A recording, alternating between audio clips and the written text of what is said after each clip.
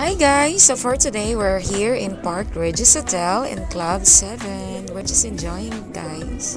So once in a week guys, we do for uh, refreshing because it's our off, the ladies off. So after one day, so we need to back in reality.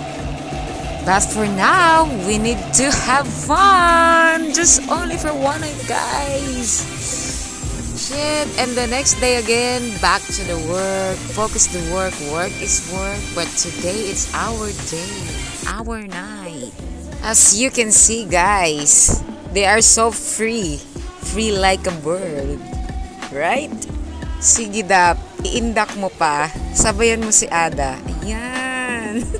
so guys, wait for a while. Mauuhaw yan kasasayaw. Ayan na, ayan na, ayan na. Nauhaw si Miss Ada. Cheers! O, oh, ayan, babalik pa yan.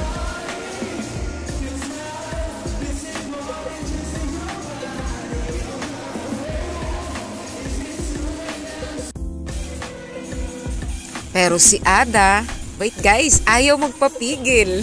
Hala, sige. Bira inday Ada. Sige, day. Mga tipong kasama mong enjoy na enjoy ka. Parang go lang, go lang talaga.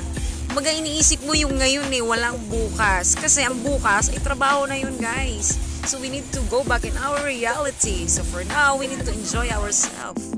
So ano na guys? Uwian na ba?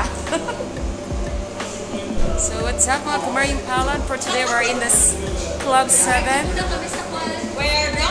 So guys, hindi lang halata. Pero pagod na yung mga yan. So guys, hanggang dito na lang. Don't forget to like and subscribe and share and also comment down below. Bye guys, have a nice day and God bless you all.